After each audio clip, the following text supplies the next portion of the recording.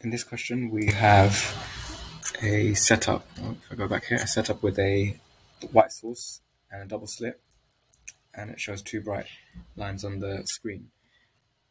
And we have to explain how this observation supports Newton's theory of light. So remembering that Newton's theory tells us that light is Newton's theory. Light is a is made up of particles, which he called uh, corpuscles, that travel in straight lines.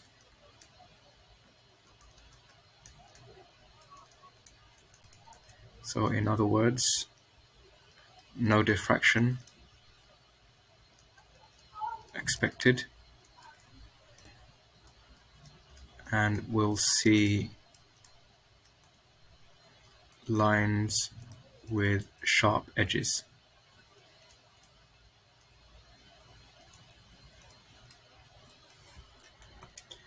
And this next question we have a um, six marker where they've also given us an outline of what to write. So here's point one, point two, and point three and we have to refer to each of these points when we want to explain um, what the alterations were made and how it explains and supports Huygens theory of light.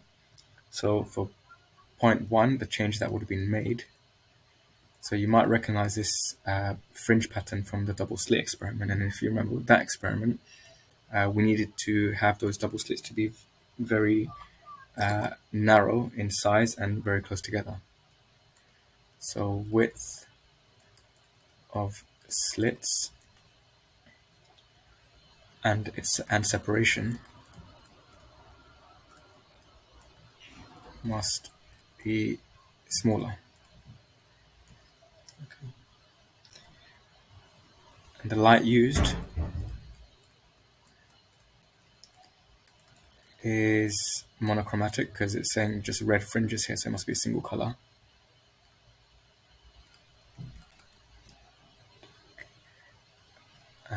With wavelength similar to gap size.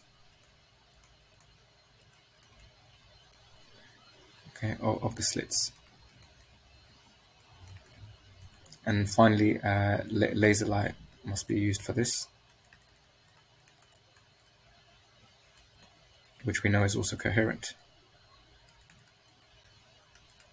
Okay, so you, you need a coherent source of light, which is a single color, going through a very small uh, separation of double slits, and the slits themselves has to be very small and similar to the wavelength. So that's for point one. So point two, uh, we have to outline the key features of Huygens theory. So remembering that Huygens theory is that light is a wave. And I'm just going to write H for Huygens theory. In Huygens theory, light is a wave. And you have to write a little bit about or how the wave actually propagates. And you have to use that wavefront model that Huygens used. So um, the wavefronts of the wave act as a source of more waves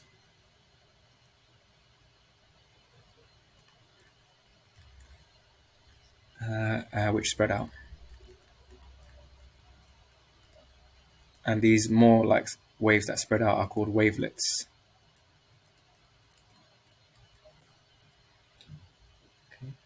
And then for point three, we have now explained how uh, the pattern that we see comes from this theory of light being a wave. So the wavelets overlap.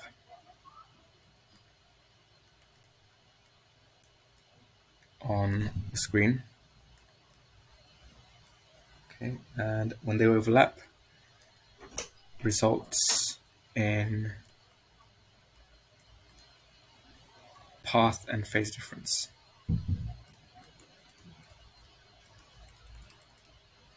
Okay, and then you write your standard answer for uh, how we get the bright and dark fringes uh, from knowledge of phase and path difference.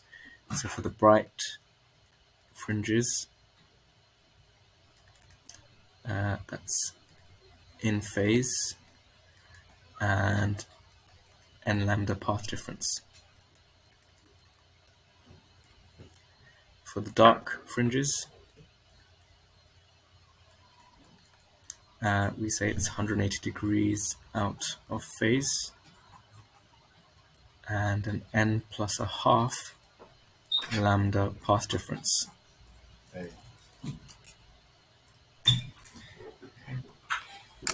For question 1.3, we're given a slightly different setup. This time we have these two single slits, um, one a, a to B is narrowed in C to D, and then we've got a screen on the other side. And we want to describe the differences if uh, both theories of light were used in this setup. So thinking about Huygens theory and thinking about Newton's theory, we have to say, well, what would the resulting pattern be? How do they compare? So we'll start with Newton's theory, which is right up here. So Newton's theory. So remembering that light is a particle, if light was particles, uh, we should just see a central bright spot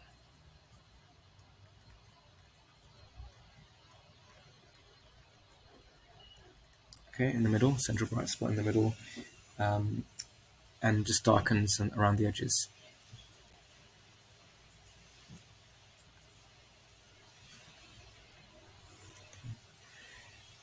In Huygens theory,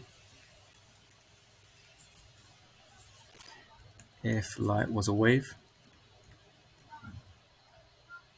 then it is similar to just the experiment that you may have done with white light. Um, interference. Uh, just describing what you'd see in, in the pattern below. So again, there is a central white right fringe.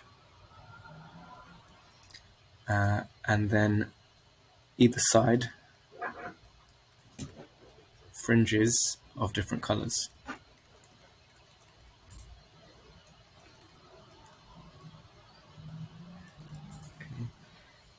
And that's what you need for the three marks here. For question two, we have uh, set up for the Millikan experiment. And just from looking at the way they've set this up, you can see the power supply, the positive end is connected to the top plate. So this top plate is positive, this bottom plate is negative, and you've got an oil droplet uh, in, in the middle here.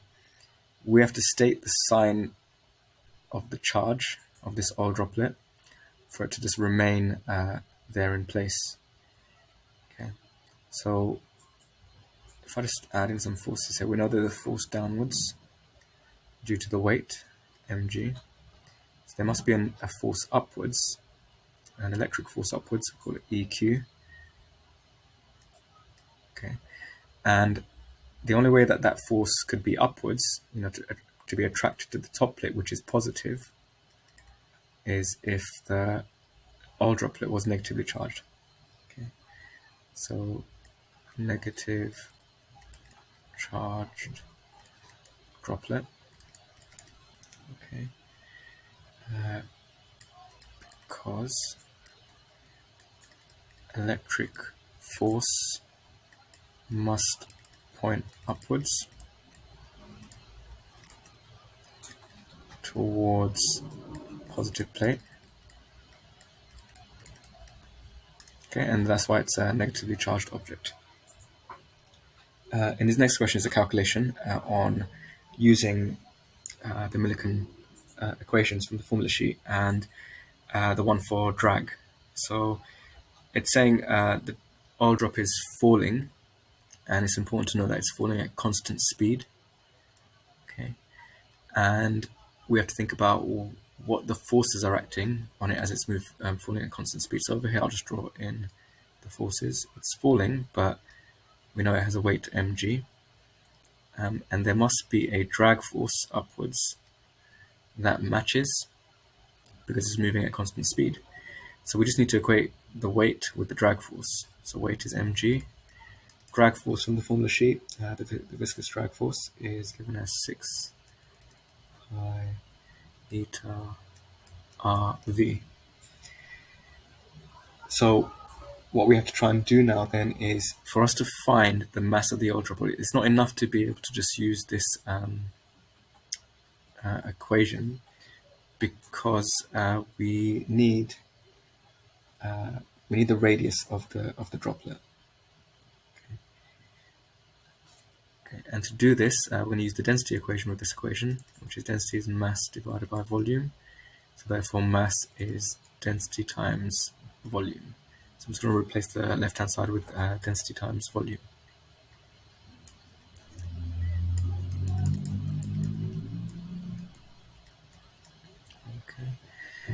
Um, we can then rearrange this equation, uh, sub in an equation for the volume of, assuming it's a um, spherical droplet of 4 over 3 pi r cubed, which is in the formula sheet for the volume of a sphere. Uh, putting all this in to the equation, we'll try that now.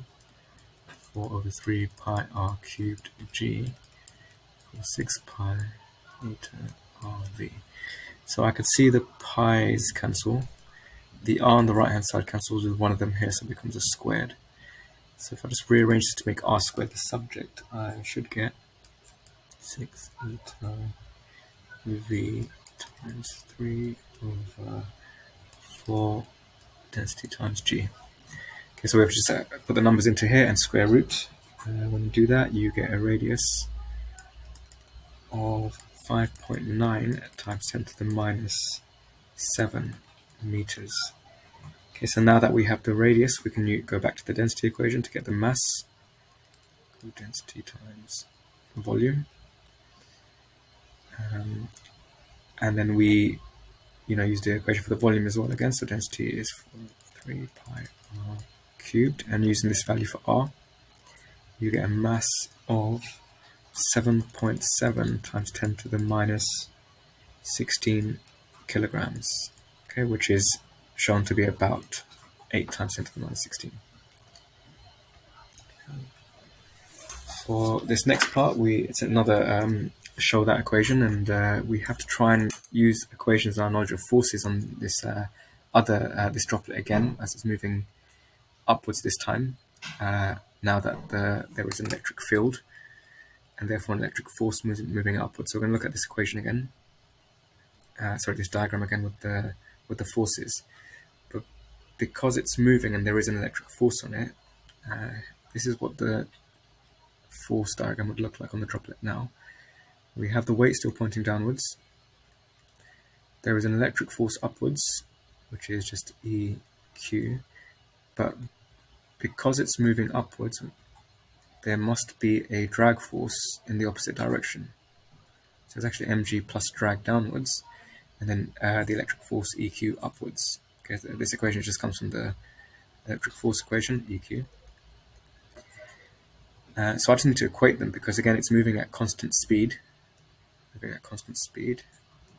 Okay. Uh, therefore the equations must uh, be equal. The force must be equal, I mean. So EQ equals mg plus this drag force Pi.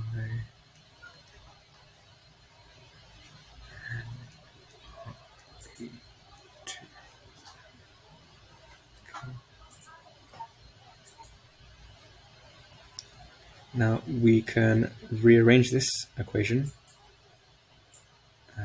to get this the subject, so 6 pi r 2 mg. And we also had from the uh, previous question uh, this equation here, okay, because this described the velocity v1 earlier.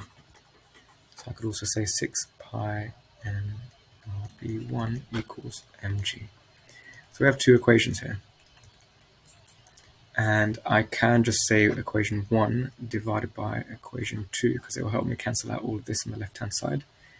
So that will give me V2 over V1 equals EQ minus mg divided by mg. Okay, so I could uh, cancel the mg with the mg here and then just do EQ over mg on that side. So V2 over V1 equals EQ over mg minus 1. And to get it to look like this now, well, if we look at the nature of this electric field, it's a parallel plate, and the equation for the electric field uh, in a uniform field due to parallel plates is V over D. So I could replace this with V over D here now. And say it's V over D. And now it looks like the equation shown. Question 2.4, I mean, even if you weren't able to get 2.3, we can now use this equation to answer 2.4. And we just need to rearrange this equation to get the charge of the droplet. So if you go through the steps of rearranging, okay, so we could do this now. Uh, I'm just going to write this equation out like this instead. So V2 over V1 plus 1 um, equals VQ over DMG. Multiply both sides by DMG and then divide by V. Should get this as the equation.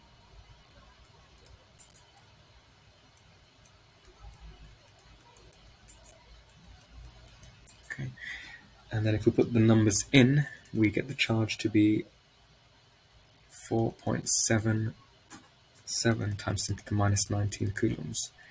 Uh, and just to say a little bit about the numbers here, this, this m is the mass of the droplet, which was given to us, or we worked out previously as 7.7 .7 times 10 to the minus 16.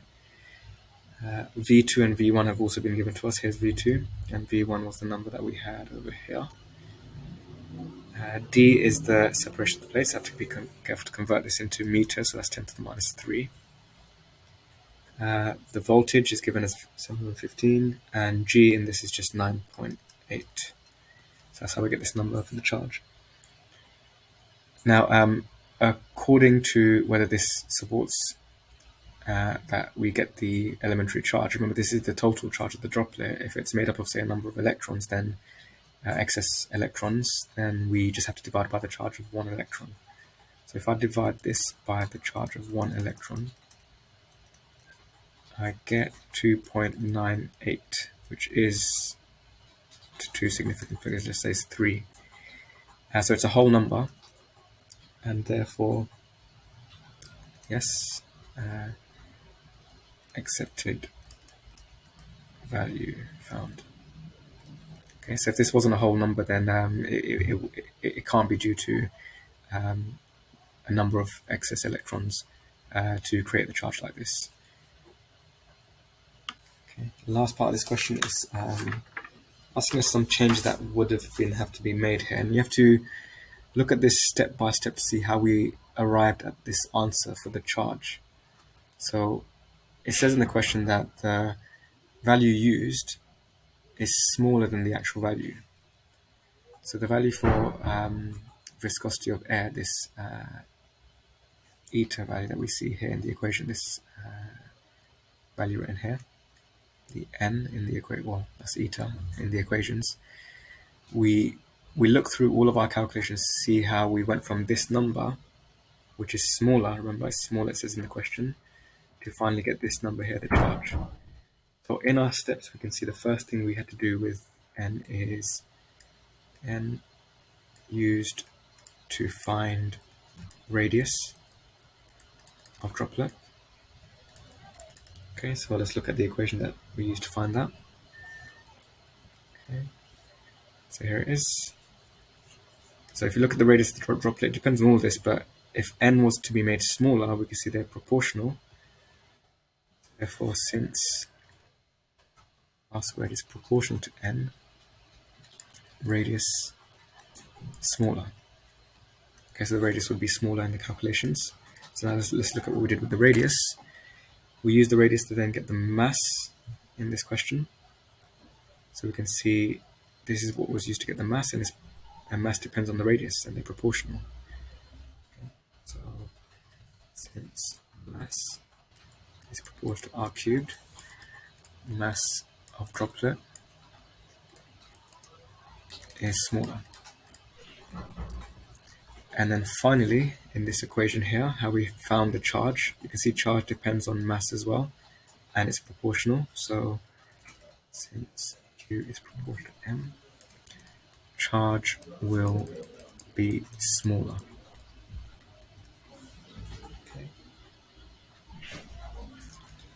For question three, we have this arrangement to find the speed of light. Fizeau's experiment to do that. And um, what's happening here with the light, just a bit of context. We have a light source coming from the sun, reflects off this plate, goes to the other end, reflects back, and comes to the eye. So that's, that's the path of one of the light rays. It goes through the rotating wheel, reflects at the mirror, and comes back. And then the other source is just the light going um, at this mirror and going straight to the eye. So we have light coming from two points really, one coming straight from the mirror and one coming from the mirror on the other side, so it has to reflect back.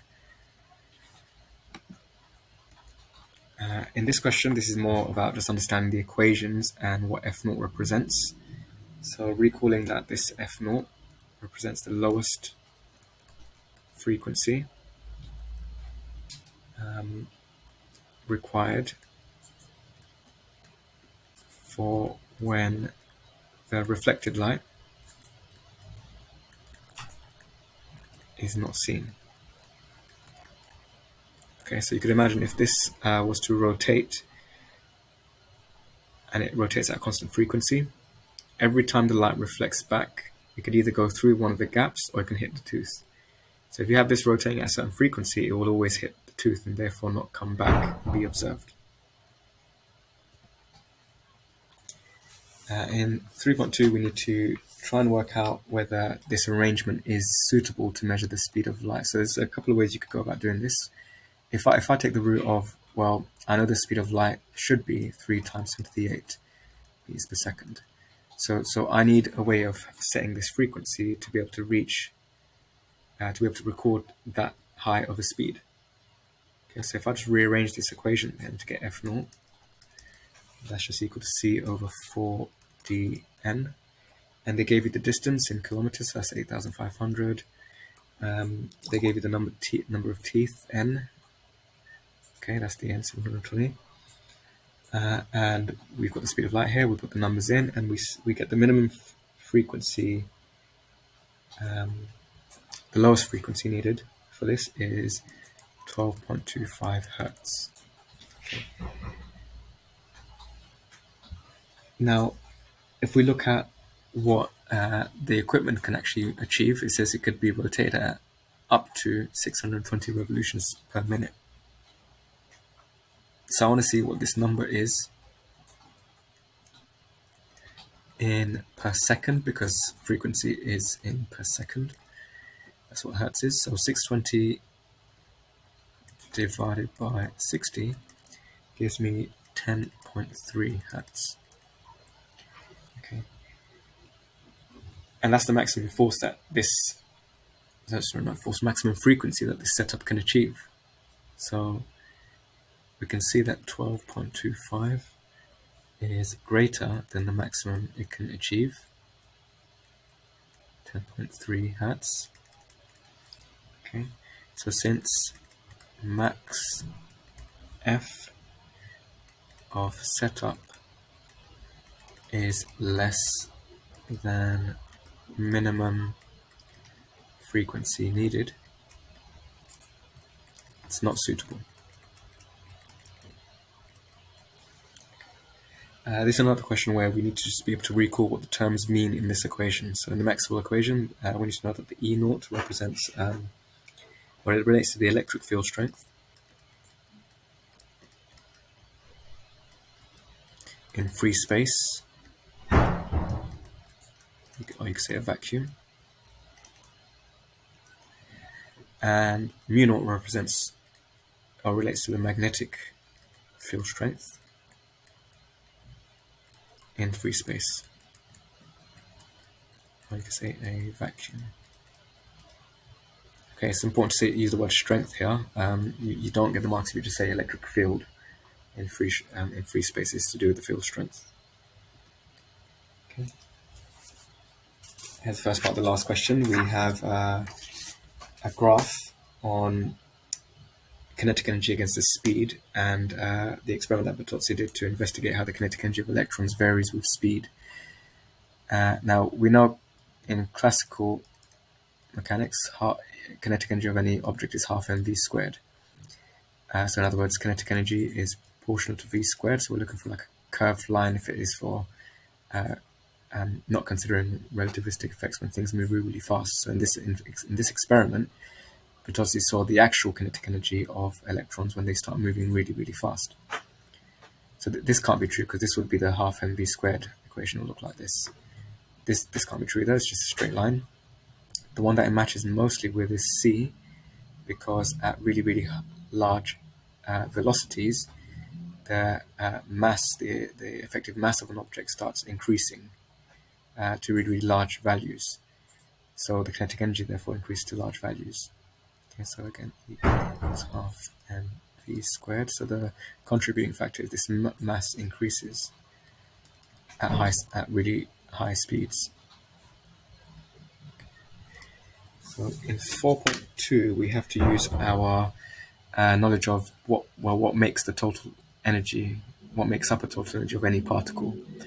So from particle physics, we know total energy of any particle is its rest energy plus its kinetic energy.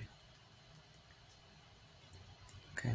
Now, in this topic, we need to know, well, to get rest energies and kinetic energies of, of, of particles, we use the E equals mc squared equation.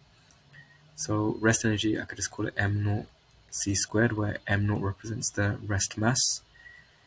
Uh, and kinetic energy is what I am trying to find here. Uh, oh no, they told us the kinetic energy is equal to the rest energy. So actually I'm just going to write that as the same value then, m naught c squared. On the left hand side, we have to use um, that Lorentz factor to talk about the total energy. So instead of the rest energy, we say uh, m c squared divided by square root of 1 minus v squared over c squared. This, this is in the formula sheet. It tells you how um, the, the rest mass, or, or the, the mass of a particle, if I just write here, mass of an actual particle uh, is dependent on its rest mass and how fast it's moving. So that's where that part of the equation has come from. Okay, so I'm using mc squared still, but this is this is what this is what the m stands for in, in mc squared this time. So looking at this equation, I can see I could cancel quite a few things here. I could cancel the m naughts if I divide everything by m naught, and if I divide everything by c squared, I can cancel the c squareds as well. So what I'm left with is 1 over square root of 1 minus v squared over c squared equals 1 plus 1, so this is 2. Um, so let me just write that as 2. Okay, just to make this easier to rearrange, I'm just going to flip both sides. Uh, so I get square root of 1 minus v squared over c squared equals a half. I can square both sides, take the v squared over c squared to the other side, subtract the half, uh, and I'm going to be left with So I should, I should do that in steps. 1 minus v squared over c squared equals a quarter when I square it. And 1 minus a quarter equals v squared over c squared. And therefore, v squared equals 3 quarters c squared. Square root both sides. And should get this. Okay, so that, if you put that in the calculator, you get speed of 2.6 times 10 to the, mile, uh, 10 to the 8. Uh, now, final question, a bit, bit, unusual, but again, thinking about what will make up the total energy of a part uh, of any object. In this case, if you stretch a spring here, you are adding potential energy to that spring. So if spring is stretched, uh, potential energy, elastic potential energy increases. Okay, so since the total energy therefore has increased, increases, and we know total energy is given by mc squared. The only way that this can increase, if you look at the right hand side, since c is always constant, this has to increase. Mass must increase. okay, the effective mass increases.